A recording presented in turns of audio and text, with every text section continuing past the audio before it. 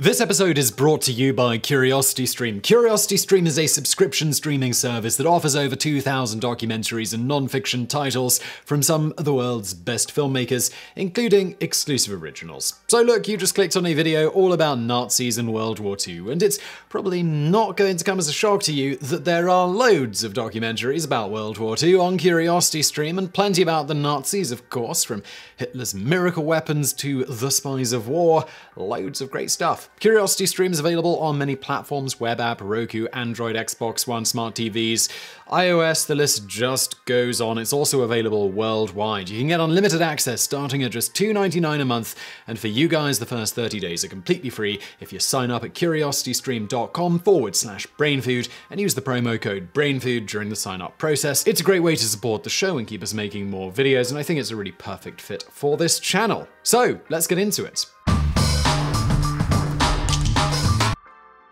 When the Nazis steamrolled into the Netherlands in May of 1940, Jannetje Johanna Hannie Schafts and Truus and Freddie Oversteegen were just 19, 16, and 14 years old, respectively. As for the Oversteegen sisters, their mother, Trijn, had left their father years before. Freddie states of this, she was just fed up one day. We lived on a large ship in Haarlem, but my father never made any money and didn't pay anything for the barge. But it wasn't an ugly divorce or anything. He sang a French farewell song from the bow of the ship when we left. He loved us, but I didn't see him that often anymore after that. Immediately after the Nazis came to town, despite the risks, Freddie goes on, during the war we had a Jewish couple living with us, which is why my sister and I knew a lot about what was going on. At the same time, their mother also had her daughters join in with her in the rather dangerous task of posting and distributing anti-Nazi and communist literature around town. Given their brazen activities, word soon got around to the resistance that the girls might be open to joining, with one Frans van der Wiel coming calling in 1941. Freddie states, A man wearing a hat came to the door and asked my mother if he could ask us to join the resistance, and he did. She was okay with it.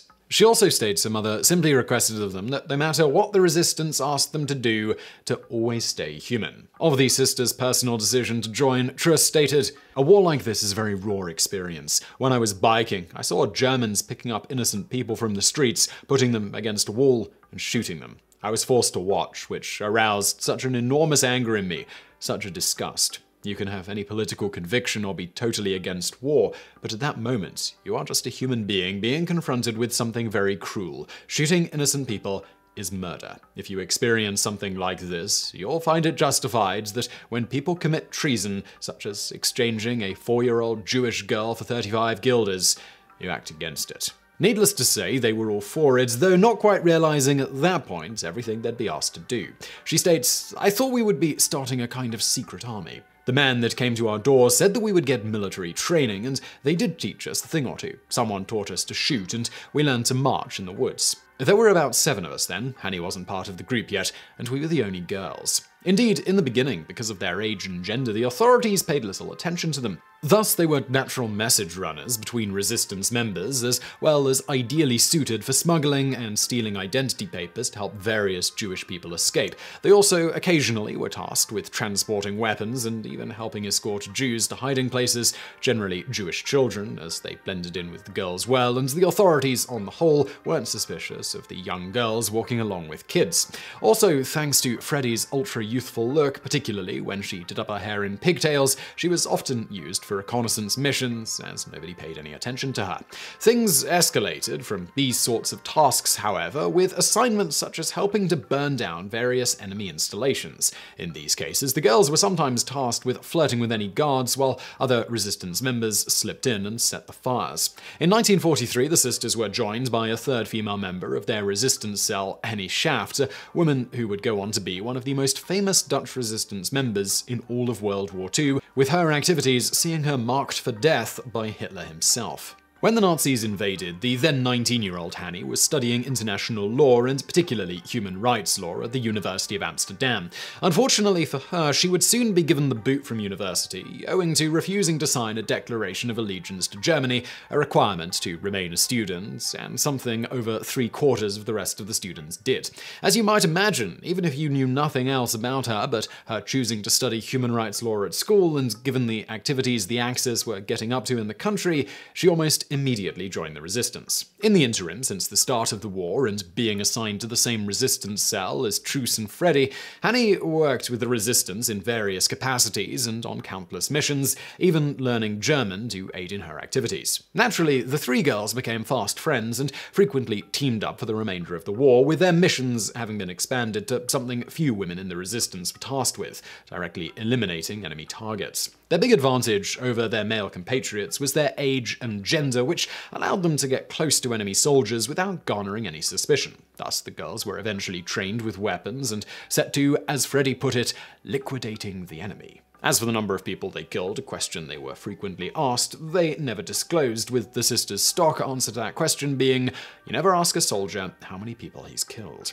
Perhaps their most famous method was flirting and convincing a mark to join one of them for a stroll. For example, in one instance, their target was an SS soldier who they scouted, and once he entered a restaurant to eat, a slightly drunk acting Truus entered and struck up a conversation. At a certain point, she then suggestively asked if he'd like to go for a walk in the woods with her, a prospect he apparently eagerly accepted. Then they ran into someone, which was made to seem a coincidence, but he was one of ours, and that friend said to Truus, Girl, you know you're not supposed to be here. They apologized, turned around, and walked away. And then shots were fired, so the man never knew what hit him. They had already dug the hole, but we weren't allowed to be there for that part.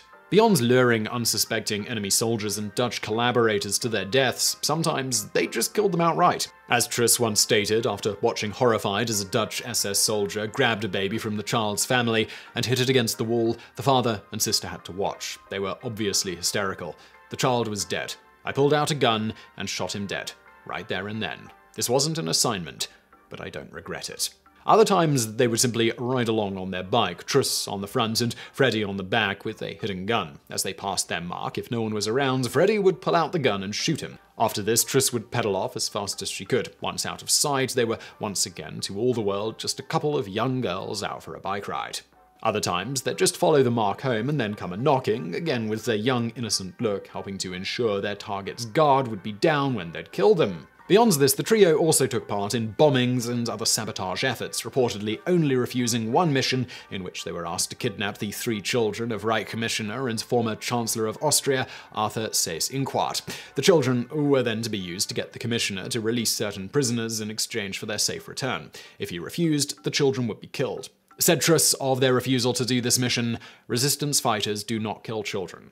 As for Hannie, while the two young girls often went overlooked, she was not so lucky. Her bright red hair and the many missions she took part in made her stand out. The authorities soon caught on, and she was initially marked as the girl with the red hair. As the heat turned up on her and Hitler himself ordered efforts towards her capture ramped up, she began dyeing her hair black and changed her name. Unfortunately, her real name was accidentally revealed to an undercover Nazi operative working as a nurse. What followed from this was her family being detained, though eventually, when it became clear they didn't know where she was or anything about her activities, they were let go. The Axis got her in the end, however, when she was picked up at a random military checkpoint on March the 21st, 1945, having been caught with copies of the communist newspaper Waarheid. She was subsequently tortured for a few weeks, but apparently never broke. Given the war was in its final stages, she may have survived if not for her bright red hair giving her away as it grew, and with no dye to keep the roots black. Once the Germans figured out who she was because of this, the then 24 year old Hannie was slated to be immediately executed, a sentence that was carried out on the 17th of April 1945, a mere 18 days before the Germans withdrew from the Netherlands. Apparently defiant to the end, it is reported that when the two soldiers tasked with killing her shot her, she fell, but both had missed their mark for a killing shot. Her last words were reported to be mocking the soldiers, allegedly stating after the first volley, Idiots, I shoot better. As for the sisters, they survived the war but suffered from post traumatic stress disorder, with Truus burying herself in art and Freddie stating she got quickly married and started a family as her way to cope. Her son, Remy, would state of this she shot people, but she hated it, and she hated herself for doing it. Freddie would also state, I've shot them myself, and I've seen them fall. And what is inside us at such a moment? You want to help them get up. Truus added, It was tragic and very difficult, and we cried about it afterwards. We did not feel it suited us. I wasn't born to kill. Do you know what that does to your soul? One loses everything. It poisons the beautiful things in life. In the end, both sisters lived to the ripe old age of 92, with Truus dying in June 2016 and Freddie following her in September 2018, the day before her 93rd birthday. If you'd like to read a lot more about this trio of badass ladies, you can find more in a friend of the Oversteegen sisters, Sophie Poldermans' recent book, Seducing and Killing Nazis, Hannie, Truus and Freddie, Dutch resistance heroines of World War II. And I really hope you found that video interesting. If you did, please do hit that thumbs up button below. Don't forget to subscribe. Also, please do check out our fantastic sponsor, Curiosity Stream, who I'm linking to below. And thank you for watching.